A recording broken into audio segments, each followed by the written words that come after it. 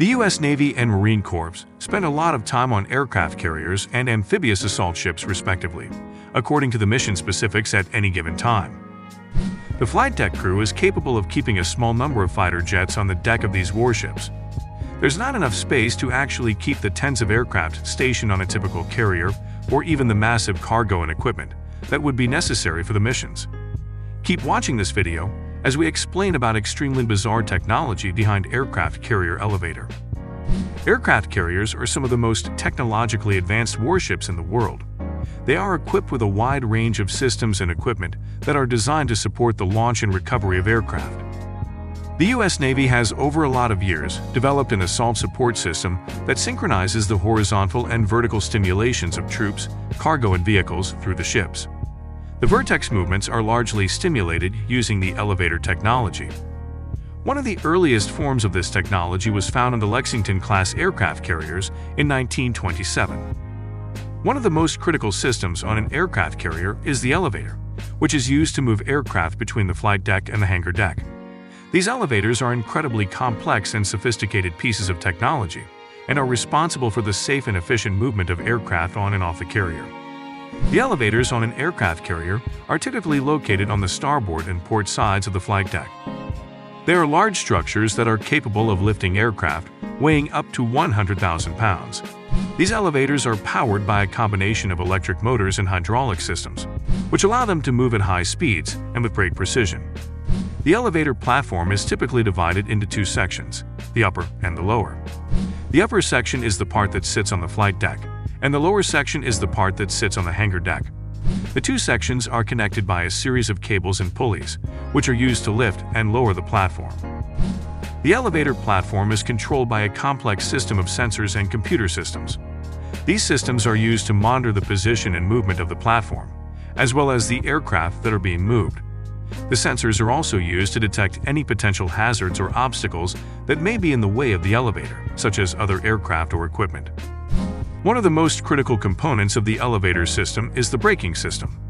This system is responsible for slowing down and stopping the elevator platform, and is critical for ensuring the safety of the aircraft and the personnel who are working on the flight deck. The braking system is typically controlled by a series of electromechanical brakes, which are activated when the elevator platform reaches a certain speed or position. There are two main types of braking systems used in elevator systems, mechanical brakes and electromagnetic brakes.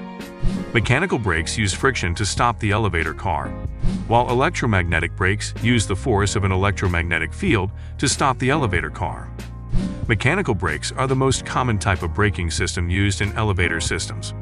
They consist of a brake shoe that is pressed against a brake drum, creating friction that stops the elevator car. The brake shoe is typically made of a durable material, such as cast iron or carbon ceramic, and the brake drum is typically made of steel. The brake shoe is activated by a brake actuator, which is controlled by the elevator's control system. One of the main advantages of mechanical brakes is that they are relatively simple and easy to maintain. They also have a good level of reliability and can withstand high temperatures and heavy loads. However, mechanical brakes can wear out over time and need to be replaced, which can be costly and time-consuming. Electromagnetic brakes, on the other hand, use the force of an electromagnetic field to stop the elevator car. They consist of an electromagnet, a rotor, and a stator. When the electromagnet is energized, it creates a magnetic field that attracts the rotor, which is connected to the elevator car. This creates resistance that slows down and eventually stops the elevator car. One of the main advantages of electromagnetic brakes is that they are highly reliable and require little maintenance. They are also very efficient and can stop the elevator car quickly and smoothly.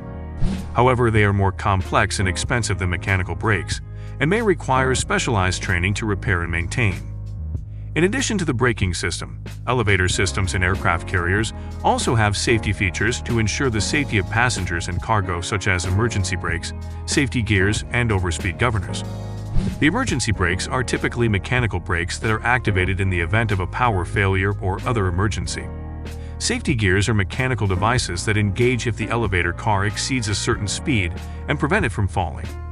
Overspeed governors are mechanical devices that automatically stop the elevator car if it exceeds a certain speed.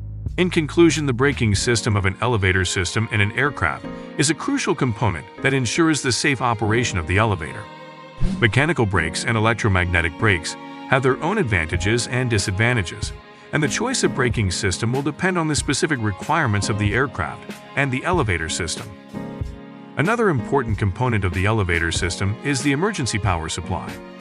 This system is used to power the elevator in the event of a power failure and is critical for ensuring that the aircraft can be safely moved in an emergency situation.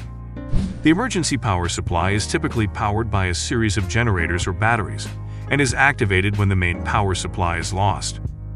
The braking emergency power supply typically consists of a battery backup system, which is able to provide power to the elevator system in the event of a power failure. The battery system is designed to have a sufficient capacity to power the elevator system for a specific period of time, typically a few minutes to allow for safe evacuation of the aircraft. In addition to the battery backup system, the braking emergency power supply also includes a control system that manages the power supply to the elevator system. This control system is responsible for monitoring the power supply to the elevator system and activating the battery backup system in the event of a power failure. The control system also monitors the state of charge of the battery backup system and ensures that it is fully charged and ready for use at all times. The braking emergency power supply system also includes a monitoring system that constantly checks the performance of the braking system and sends a signal to the control system if any malfunction is detected. This signal triggers the control system to activate the emergency brake and stop the elevator. It is important to note that the braking emergency power supply system must meet a number of safety requirements and standards set by regulatory bodies, such as the Federal Aviation Administration and the International Civil Aviation Organization. These requirements include regular testing and maintenance of the system to ensure that it is in proper working order at all times. The elevators on an aircraft carrier are incredibly expensive to build and maintain. The cost of a single elevator can be over $15 billion, and the maintenance and replacement parts are also very costly. The reason for such a high cost is due to a combination of factors, including the complexity of the design, the materials and technology used, and the challenging operating environment. First, the complexity of the design of elevators on an aircraft carrier is a major factor in the high cost. These elevators must be able to withstand the extreme conditions of an aircraft carrier, including high winds, saltwater exposure, and the constant movement of the ship. This requires the use of specialized materials and advanced technology, such as high-strength steel and advanced control systems, which are costly to produce. Additionally, the elevators must be able to move large, heavy aircraft between decks, which also adds to the complexity and cost of the design.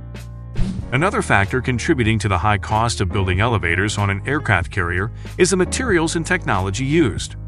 The elevators must be equipped with advanced control systems and other technology to ensure safe and efficient operation. Furthermore, the operating environment of an aircraft carrier also contributes to the high cost of building elevators.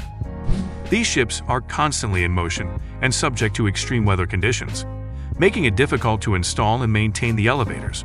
This requires specialized equipment and personnel, as well as additional safety precautions, which all add to the overall cost. Let us know what you think in the comments section. Don't forget to like, subscribe, and click on the bell button to make sure you stay updated on all new videos.